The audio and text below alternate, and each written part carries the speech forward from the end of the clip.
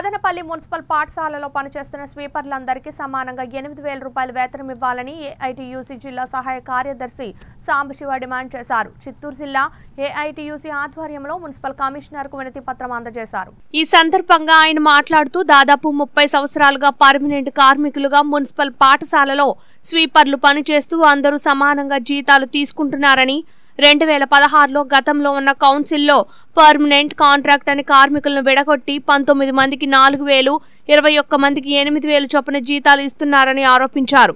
గత కౌన్సిల్లో జరిగిన తప్పులను సరిచేసి అందరికీ సమానంగా ఎనిమిది వేల రూపాయల వేతనం ఇవ్వాలని ఈపీఎఫ్ ఈఎస్ఐ క్యాజువల్ సెలవుల సౌకర్యం కల్పించాలని డిమాండ్ చేశారు.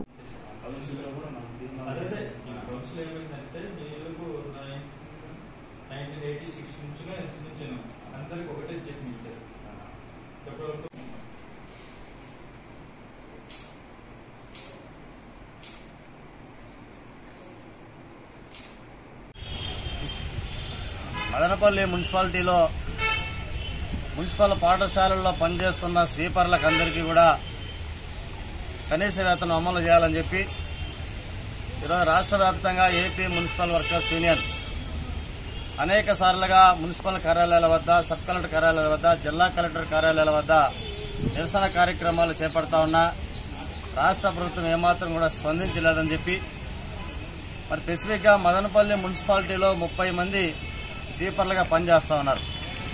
ఇది మదనపల్లి మున్సిపాలిటీ ఏర్పడినప్పటి నుంచి దాదాపు ముప్పై ఏళ్ళకి సైపోయి పైబడి ఒకరికి కూడా సర్వీస్ ఉంది. అందరూ కూడా పర్మనెంట్ వర్కర్లుగానే ఉదయం ఎనిమిది నుంచి సాయంత్రం ఐదు వరకు పనిచేస్తూ ఉన్నారు.